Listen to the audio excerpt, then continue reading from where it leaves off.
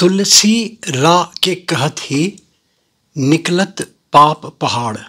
फिर आवत को चाहत है देत मकार किवाड़। तुलसी अद सब दूर गे, रा अक्षर के लेत।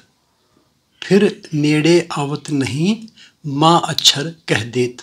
कितनी बड़ी बात कही है। रकार और मकार की महत्ता बताई है। अगर इसको प्रॉपरली चेंट किया जाए, उच्चारण किया जाए, देखिए रा शक्ति का प्रतीक है। और अगर हम रा का उच्चारण करते हैं, और रा को उच्चारण किस तरह करना है? झटके से करना है।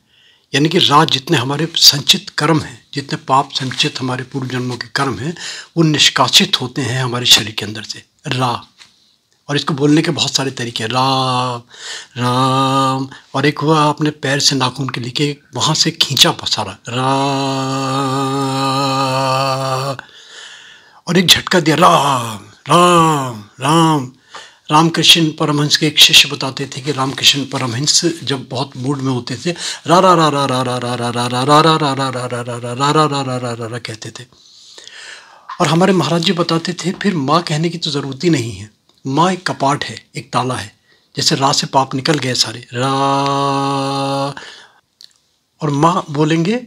तो बोलना नहीं पड़ेगा। रा बोला, माँ होट बंद तो माँ अपने आप निकलेगा। राम, बंद हुआ ना? तो ये जो अंदर के पाप हैं, हमारे जो हमारे जो संचित, हमारे जो हमारे जन्म जन्मांतरों के पाप हैं, रा का अगर हमने गुंजन किया, रा,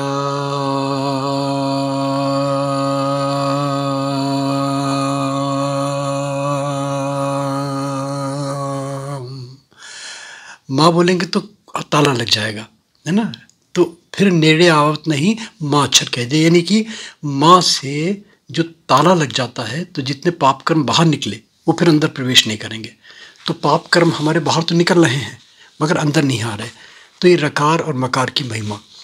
तो इसको जब समझ में आएगा, जब राम नाम को जानेगा, रकार और मकार के मर्म को समझेगा, क्योंकि देखिए राम, एक तो वो अयोध्या वाले राम हो गए।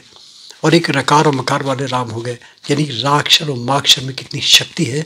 इसके मैंने वीडियो भी दिए हैं, इसके मैंने आर्टिकल भी लिखे हुए हैं। अगर आप डिटेल्स में जाना चाहते हैं तो गोपाला जी मोटिवेशनल वीडियोज़ के स्पिरिचुअल वीडियो ज़रूर देख लीजिएगा।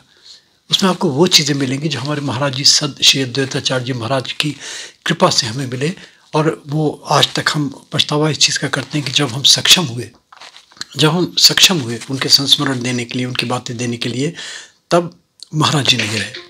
और जब महाराज जी थे, तब वो हमारे पास वो साधन नहीं थे। तो कितना बड़ा दुर्भाग्य हमारा। मगर जो भी है, जो दे रहे हैं, देखिए, इनको करिए। मगर जो भी है, देखिए, करिए इनको। और एक request like subscribe forward notification bell में क्लिक करके प्लीज़ ऑल का बटन ज़रूर दबा दिया करें। गोपाला जी मोटिवेशनल वीडियोज़ के मल्टीपल सब्जेक्ट स्पिरिचुअल की पूरी प्लेलिस्ट बनाई है। हेल्थ मैनेजमेंट की पूरी प्लेलिस्ट बनाई है। और फिर उसके अलावा जो आजकल जो चलन में है टोने टोट के उपाय इनकी भी बनाई है। मगर ये भी देते हैं अल्टीमेटली कभी भी कर्म से किसी को विमुख नहीं करता। गोपाला जी मोटिवेशनल वीडियोस का कोई भी वीडियो हमेशा मैं कहता हूँ, कर्म पहले है, उसके बाद में फिर और सब चीज़ें।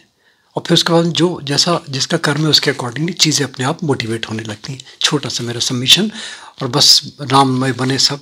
राम जपिए, माँ जपिए, किस तरह जपना है इसका बता दिया।